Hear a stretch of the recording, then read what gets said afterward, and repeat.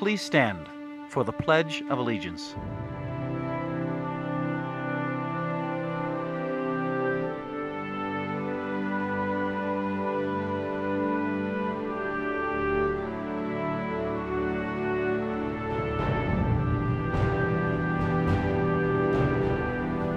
I pledge allegiance to the flag of the United States of America and to the republic for which it stands, one nation, under God, indivisible, with liberty and justice for all.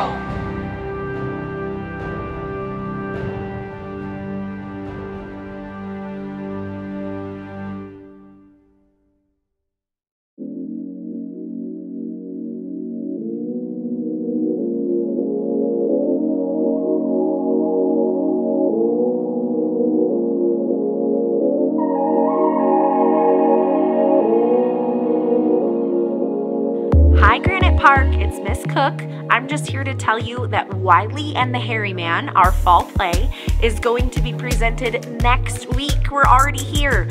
You can come and see the show on Wednesday, Thursday, Friday, or Saturday at 7 p.m. It's going to be so much fun, and so many of our students have been working really hard. So make sure you come and support them, be a great audience member, and I'll hope to see you there.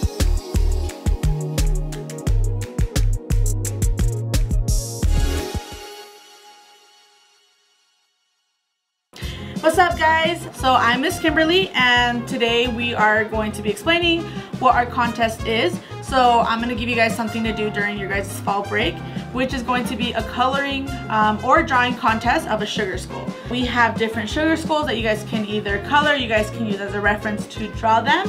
Um, there's going to be different prizes. First prize is going to be a Pro Club sweater um, from Granite Park.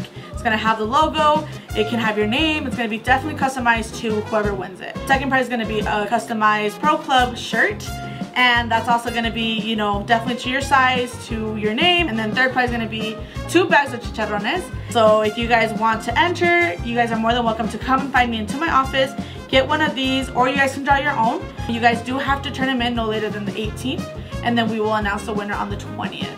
So if you guys have any questions or concerns, definitely feel free to reach out to me or Vince, which is right next door. I hope you guys have an amazing day.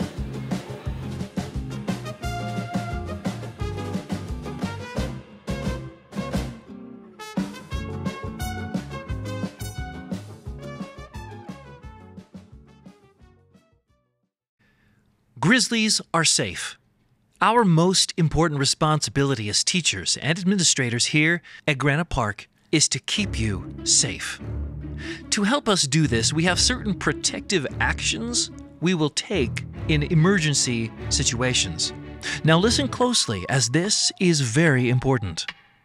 If there is a potential threat to student safety off campus, the office will initiate or start what we call a lockout.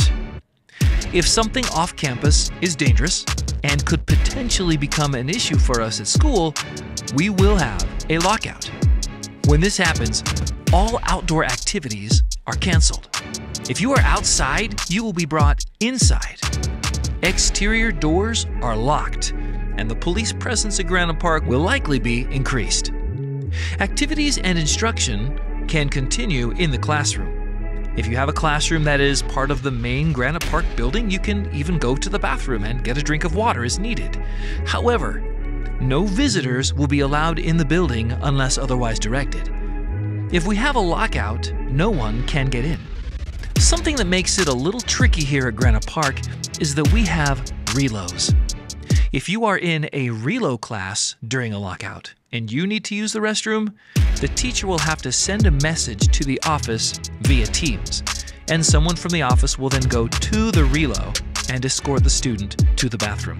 Again, if you are in the main part of the building, this is not an issue. You can go to the bathroom as needed. But because the exterior doors are locked, it gets a little tricky for the relos. Another thing to consider is transitions. Again, because we have relo classrooms, in a lockout situation, there will be no changing of classes. Teachers will keep you in their class unless an announcement is made to the contrary.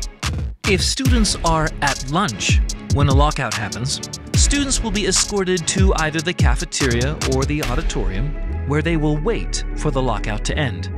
Again, our goal is to keep everyone safe. In coming days, we will learn about a lockdown, which is more serious.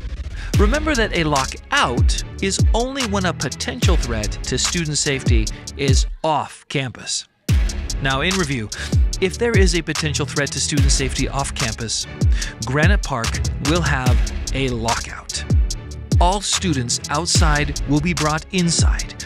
Exterior doors will be locked, so anyone in the relos will need to stay there unless accompanied by an adult. Students inside the building are allowed to use the restroom as needed. Visitors will not be allowed in the building, and students will not transition to the next class until the lockout ends. Stay safe, Grizzlies.